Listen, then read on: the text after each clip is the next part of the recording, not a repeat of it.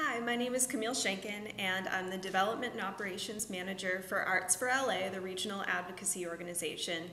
And I wanted to do a success story for Art Job because I think that everyone has some random skills that you might not think would help you in an arts job or an arts management job. Um, and I wanted to talk about one thing that I've been able to do, which is create kind of a niche as far as new technology and web tools for nonprofit arts organizations, and it was a complete accident. Uh, what happened was right out of college, I got a job at an online lingerie retailer called Wicked Temptations, and um, I was their copywriter. So part of that was I had to run a site for them, their, their retail website, which was done in a Yahoo store. I had to learn things like search engine optimization and affiliate marketing and a little bit of HTML and all of these other web tools. Um, honestly, the coolest part of the job was I got to name the lingerie, so I named it after all of my friends and had a really good time with that. But ultimately, I realized that I didn't want to be in a for profit setting and I really wanted to be in the arts, so I left the job after about six months. I also started a, um, a graduate degree in arts management that same year. And in a class, this woman came and spoke to the class. Her name was Danielle Brazell, and she ran Arts for LA. And I really connected with what she was talking about. Uh, she was interested in building this Web 2.0 site that was going to be able to map constituents to their local uh, representative districts, like their city council district or their school board. So after the class, I went up to her and said, I, I love this idea. Um, I really liked your presentation. If you ever need some help in the office, then let me know. And two months later, she called me, and I was hired as the constituent manager for them. And now I've been here for three years, and I love it, and I'm the development and operations manager. So I'd been working on Arts for LA stuff for a few months and um, talked to a lot of people about the, the way that we were using new technology. And I was using all of these skills from my online retail job, which I told Danielle about before she hired me. And um, I got a call about a year into working there from Los Angeles Art Association.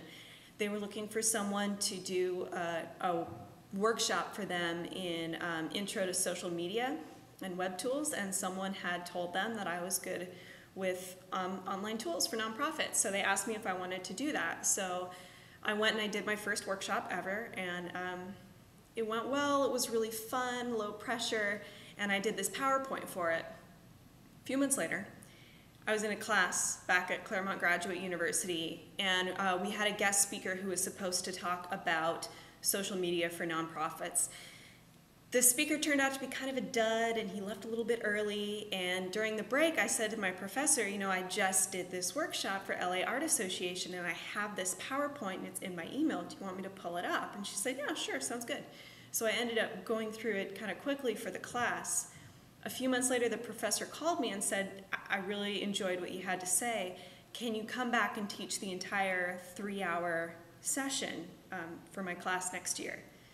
So that was amazing. I got to expand what I was talking about and um, do three hours of graduate teaching um, while I was still a graduate student. So that was that was completely wonderful. And around this time, I figured out, okay, I should start putting this on my resume that I that I teach new technology, social media, web tools for nonprofits.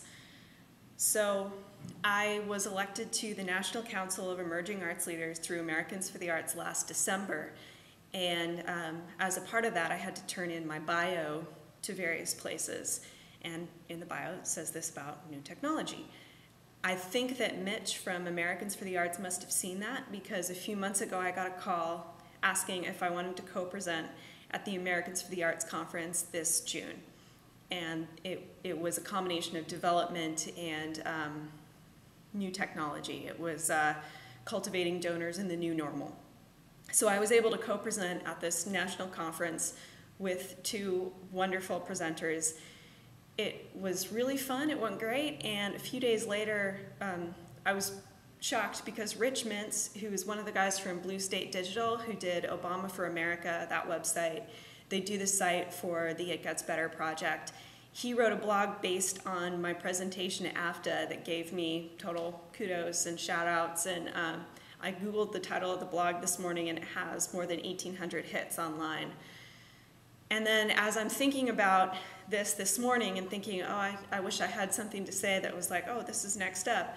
And I actually got an email this morning from one of Arts for LA's grant makers, and they said, oh, hey, um, we're looking to talk to some people about nonprofit arts organizations and uh, social media, and we got your name from someone. Is that okay? It was like, yeah, totally, grant maker. That's great.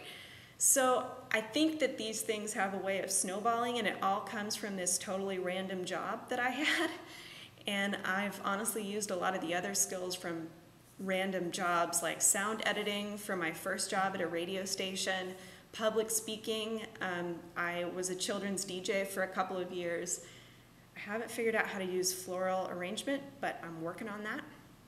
So my recommendation is to really think about what you can offer to an employer, whether or not it seems to be right there in the arts management skill set, and think about putting some of those random skills onto your resume because if nothing else, it's a really good thing to talk about during an interview um, and something that'll make the interviewer remember you. And then the other part of it is just when the opportunity arises, don't be afraid to say, I can do that, I know how to do that, because that's how a lot of this happened for me as well, is just being able to step in and say, oh, yeah, I guess I, I can teach a workshop in that. I, I do have those skills. So good luck. Arts management is awesome. Bye.